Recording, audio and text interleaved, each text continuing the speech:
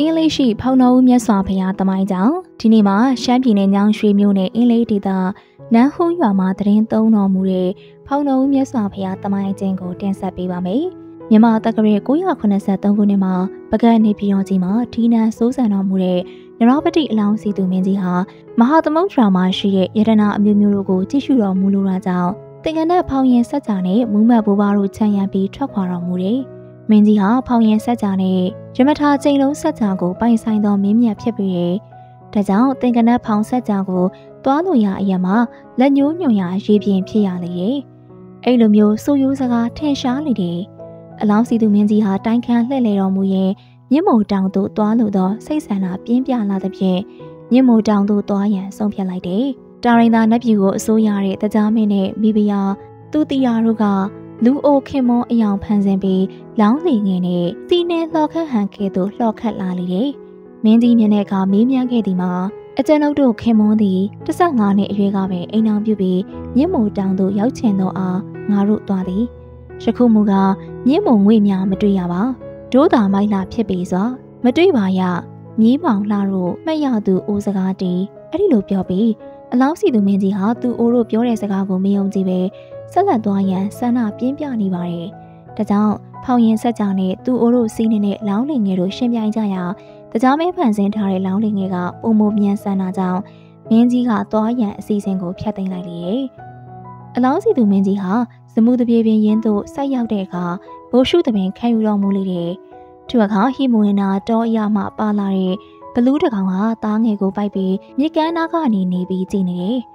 ထို့သောငိုကြွေးမြည်တမ်းတဲ့အတန်ကိုမင်းကြီးကြားတော်မူလေတော့ရမထာကျိန်လုံးနဲ့ရေကိုပုတ်ခတ်လိုက်ရာရေဆောင်နဲ့ထွက်ပေါ်လာတယ်။ဘလူးမရဲ့သားငယ်ကိုရေဆောင်နဲ့ကတဲယူပေးပြီးဘလူးမကအလွန်ဝမ်းသာလှပြီးတယ်။ထို့အခါဘလူးမကမိမိနေရာဟိမဝင်နာတော်ရက်သို့ဝင်ရောက်ပြီးအနက်မွေးကြိုင်လာတဲ့တရခန်အစ်စ်ကိုဖျက်ယူပြီးလာရောက်ဆက်သားလေတယ်။ကစားမင်းကြီးဟာကိုထင်ရှားပြသပြီးမင်းကြီးအားဆိုလေရဲ့မြတ်တော်မင်းကြီး မြင့်မို့တောင်သို့မသွားခြင်းကကောင်းလာပါပြီ။ငါကတကြားတီမင်းကြီးအားသာသနာတော်၏အကျိုးကိုဆောင်ရွက်စေခြင်းသောကြောင့်မြင့်မို့တောင်သို့မသွားပြစ်လေအောင်တားမြစ်ခြင်းဖြစ်ပေ။သာသနာတော်တည်သည်မြလူတော်ဝအပေါင်းတို့ကိုးကွယ်စိတ်သောအခါတင်မင်းကြီးအားဖျားရုပ်ထုတော်မြတ်ကိုငါပေးမည်ဟုဆိုက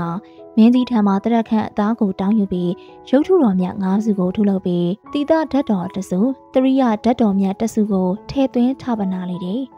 တရက်ခန့်အစတပြေအစဘောရီအစတို့ကိုစုပေါင်းပြီးစီရင်သောကြောင့်မြက်ပေါင်းမြင့်စုဖရာလို့ခေါ်ဝေါ်ခဲ့လေတယ်။ထို့ဖရာမှာတိတမွေတော်တစုနဲ့နှလုံးတော်တစုတွင်ပြီးထပနာလေတယ်။အထက်ဖော်ပြပါတရက်ခန့်ရုပ်ထုတော်မြတ်ငါးစုနဲ့မြက်ပေါင်းမြင့်စုတစုရှင်ဖြူရှင်လှနှစ်စုပေါင်းဖျားရုပ်ထုတော်မြတ်ရှစ်စုကိုတကြားမင်းကထုလုပ်ပြီးဆက်သားလေ။တရခတ်ဖျားရုပ်ထုတော်လေးစုဌာပနာရိုက်တွင်ခြင်း မြန်မာတက္ကရာ482ခုနှစ်မှာအလောင်းစီသူမြင့်ကြီးဟာတိုင်ခံလှည့်လည်မှုရာအရှိတောင်ညိုတောင်တန်းကြီးမှာသာသနာတော်မြတ်9000အတွင်းသာသနာတော်ထွန်းကားတဲ့အရက်ဒေတာဖြစ်လိမ့်မယ်။ထိုတောင်တန်းရဲ့အရှိကနောင်မဟာနာရကပြည်ကြီးဖြစ်ဖွယ်ရာရှိပြီ။ဒါကြောင့်တရခန့်ရုပ်ထုတော်မြတ်၅စုကိုထိုရက်ဒေတာမှာတိဆောက်ဌာပနာပေးရန်သောတာပန်နတ်ကြီးကဆိုတော်မူလေတယ်။မင်းကြီးကလည်းနတ်ကြီးဆိုတဲ့အတိုင်းရုပ်ထုတော်မြတ်ကိုပထမဒုတိယတတိယစရုပ်ထ လေးစုသောဖရာယဟန္တာရုပ်ထုတော်မြတ်ကိုပြင်ယူပြီးစင်တော်ပေါ်မှာတင်ကြလေတယ်။အဖျားပိုင်းပြစ္စမရုပ်ထုတော်ကိုစင်အတင်မခံသဖြင့်ထိုးရ၌ပို့ဆောင်ခြင်းမရှိ။တရခန်ရုပ်ထုတော်မြတ်လေးစုနဲ့မြက်ပေါင်းမြင့်စုတစုကိုစင်ပေါ်တင်ပြီးလွှတ်တော်မူလေတယ်။ရုပ်ထုတော်တင်ဆောင်လာတဲ့ဆင်းများကိုအရှိတောင်ညိုအရက်၌လှည့်ပတ်လာရင်တန်းထောင်အရက်ဖောင်တော်ပေါက်တောင်ကြီးရင်သို့ရောက်ရှိတဲ့အခါ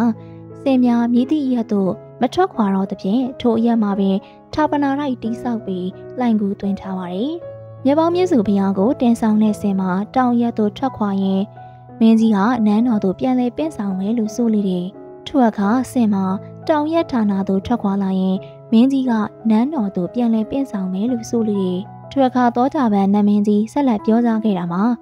မင်းမြတ်ထိုယရနာမြင့်စုဖျားကိုမဟာကာမရွာ၌သာအနံထားရှိရန် မြတ်ပေါင်းမြင့်စုဖျားကိုထိုမဟာကာမရွာမှာအနံထားတာမူမှနောင်သောအခါတရခန်ရုပ်ထုတော်မြတ်နဲ့တပေါင်းနဲ့ရှိလာမယ်လို့သောတာပန်နတ်ကြီးကဆိုတော်မူနေတယ်။နတ်ကြီးဆိုတော်မူတဲ့အတိုင်းမဟာကာမရွာကျောင်းမှာဆရာတော်အရိယာဓမ္မရာတိထံအနံပေးပြီး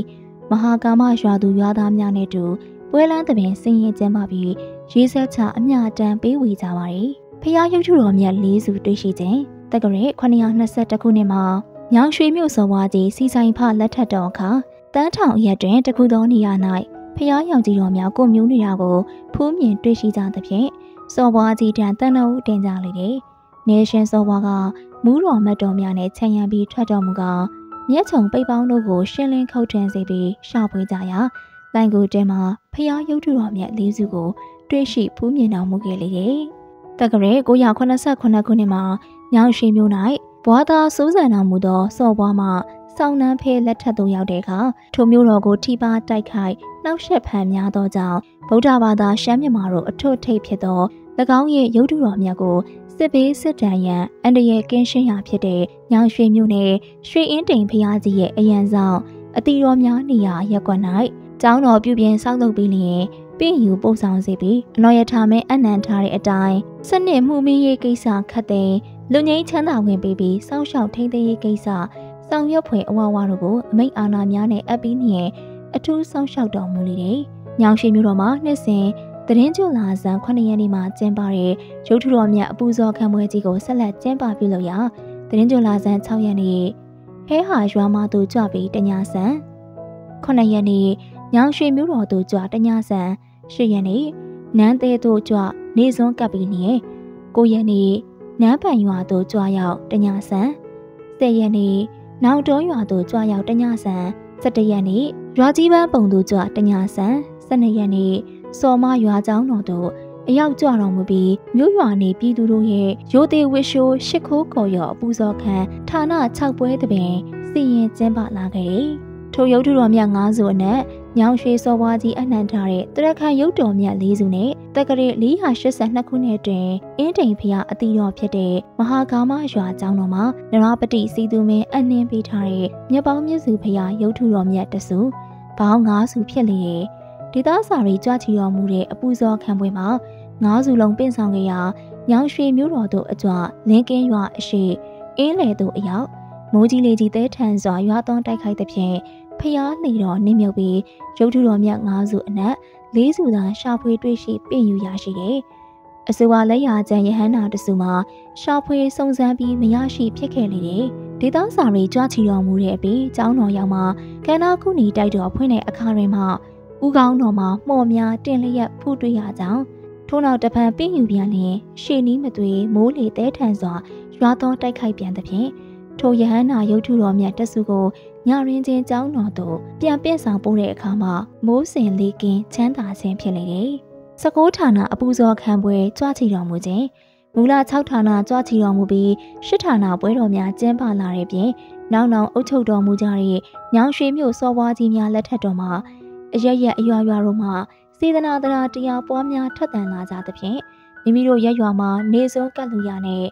ညကျင်းတော်မူရန်ခွင့်ပန်တင်လျှောက်ထားတဲ့အတိုင်း နောက်ထပ်၁၂ဌာနအရက်များသို့ခွင့်ပြုတော်မူခဲ့လေတယ်။ဌာနပေါင်း19ရက်ပေါင်း15ရက်များကြွားချီတော်မူခဲ့လေတယ်။နောက်ထပ်ပွဲစားကုန်းဌာနမှာနေစုံကတ်ရန်ထပ်မံခွင့်ပြုလိုက်တယ်။သို့တော့1312ခုနှစ်တိုင်းပြည်ငြိမ်ဝှက်ပြီးပြောင်းမှုမရှိတဲ့အတွက်ဂိုင်းတန်ငါဆရာတော်များသက်ဆိုင်ရာအစိုးရဌာနအကြီးအကဲများနဲ့နန်းဟုံးရဖျားထိန်သိမ်းဆောက်ရှောက်ရေးကောပကအဖွဲ့လူကြီးများတို့ အားလုံးသဘောတူညီချက်ဆုံးဖြတ်ကြတဲ့အတိုင်းထိုနေ့မှာဒေသစာရီကြွားကြည့်တော်မူခြင်းမရှိပါသက်ဆိုင်ရာဒါယကဒါယိကာမတို့မိမိဌာနသို့ကြွရောက်တဲ့နေ့ကြလျင်ဖောင်တော်ဖျားကျောင်းတော်ကြီးတို့အရောက်စွန်ပန်းရေချမ်းစီမီဖျောင်းနိုင်များကိုလာရောက်ဆက်ကပ်တူတန်းကြပါရယ်ထိုနှစ်တွင်ကျောင်းတော်၌နေ့စဉ်နဲ့မျှလူစီကားတဲ့နှစ်လိုမှတ်ချက်ချပြီးတယ်1312ခုနှစ်မှာဒေသစာရီဆက်လက်ကြွချီတော်မူလာရင်1328ခုနှစ်သတင်းကျွလာဇန်6ရက် နနက်၈နာရီချိန်မှာဟဲရွာမှဌာနမှကြေးစားကုန်းကျောင်းသို့အကြွမြေနီကုန်းရွာအရှိတောင်တောင်သို့အရောက်မိုးကြီးလေကြီးသဲထန်စွာရွာသွန်းတိုက်ခိုက်သဖြင့်ကရဝိတ်ဖောင်တော်လှေကြီးမှာတိမ်မှောက်သွားပါတယ်။ထိုရုပ်ထုတော်မြတ်လေးစုအနက်ရေအောက်သို့နှစ်စုကျသွားပြီးကြံနှစ်စုမှာဖျားလူကြီးများတို့ကပြင့်ယူရရှိလိုက်တယ်။ရေအောက်လိုက်ကြတဲ့ဖျားနှစ်စုမှာအဲ့ဒီမနက်9နာရီခွဲအချိန်မှာရှာဖွေတွေ့ရှိခဲ့ပြီးဆက်လက်ပြင်ဆောင်ကြပါတယ်။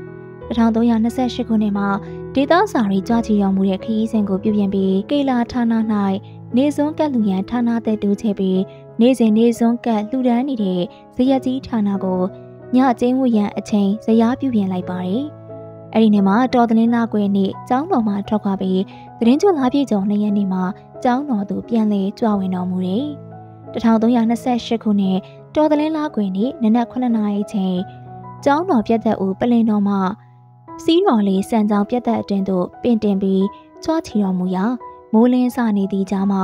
ညအချိန်ကဲ့သို့မှောင်ကျသွားပါရီထိုရှင်းနိုင်ခွဲအချိန်ကြာရောက်မှအလင်းရောင်ပြန်လည်မြင်တွေ့ရပြီးနေဆက်ကြရဲ့အလင်းရောင်ကိုတွေ့မြင်ရလေတယ်။ထိုနမိတ်ထူးခြားချက်ကိုလူတိုင်းပင်အံ့ဩရလေတယ်။ထိုနှစ်မှာအင်းလေးဒေသ၌ဘေးရန်ရဲ့အများအပြားတွေ့ရှိရပြီး1929ခုနှစ် ဒေသစာရီကြွားချီတော်မူရာနေရာဌာနတိုးမြင့်ခြင်းမပြုလုပ်တော့ဘဲနေရက်နဲ့အချိန်ကိုသာပြုပြင်ပေးခဲ့လေတယ်။သတင်းကြလာစံတရက်နေ့ကျောင်းတော်မှာအင်းတိန်ဌာနသို့ကြွရောက်တော်မူပြီးသတင်းကြလာပြည့်ကျော်3ရက်နေ့ရေးသားဌာနမှကျောင်းတော်သို့ပြန်လည်ကြွဝင်တော်မူလေတယ်။တက္ကရာ1133ခုနှစ်မှာရွှေရင်တိန်ဖျားကြီးရဲ့အရှိတ်မဟာဂါမရွာရှိ ဖောင်တော်ဦးကျောင်းတော်ကြီးကို မီးတင်လောင်သဖြင့်ရွာကြီးပန်းပုံရက်မှာကျောင်းတော်ဆောက်လုပ်ပြီးရုပ်ပွားတော်များငါးစုကိုရွှေပြောင်းပင့်ဆောင်ပြီးလျင်အတိတော်များကစောင့်ရှောက်ကြလေတယ်။ အဲဒီနောက်တစ်ဖန်1243ခုနှစ်ရွာကြီးပန်းပုံကျောင်းတော်လည်းထပ်မံမီးလောင်ပြန်ရာတာလီကြီးရွာအုပ်စုနန်းဟူးရွာ၌ကျောင်းတော်ကြီးဆောက်လုပ်ပြီးထာဝရကျောင်းတော်ကြီးကို1252ခုနှစ်အတွက်တည်ဆောက်ပြီးကိုးခွေလာကြတယ်။အဲဒီနောက်ကျောင်းတော်ကြီးမှာပျက်စီးယိုယွင်းမှုများပြားလာသဖြင့်တက္ကရာ1313ခုနှစ်မှာအထက်ပါကျောင်းတော်ကြီးကိုဖျက်သိမ်းလိုက်ပါတယ်။ယခုတည်ရှိတဲ့ကျောင်းတော်ကြီးကို1314ခုနှစ်မှာစတင်အုပ်မြစ်ချကွန်ကရစ်တိုင်များကိုတိစောက်ကြပြီး1318ခုနှစ် ဖျားကျောင်းတော်တပ်ပွဲကိုကျင်းပနိုင်ခဲ့ပါတယ်။1318ခုနှစ်မှာကျောင်းတော်ကြီးရဲ့ဇေဒီလုံးထိပ်ထီးတော်မြတ်ကိုအောင်မြင်စွာတက်ဆင်ပြီးစီးကြောင်းတင်ပြအပ်ပါတယ်။ကျမတို့အားလုံးအတွက်အင်းလေးသမိုင်းကြောင်းသိရှိစေရန်ရည်ရွယ်ပြီးအဖိုးဖွားများထိမ့်သိမ်းပြီးခဲ့တဲ့စာအုပ်မှာပြန်လည်ရယူပြီးမျှဝေပေးခြင်းဖြစ်ပါတယ်။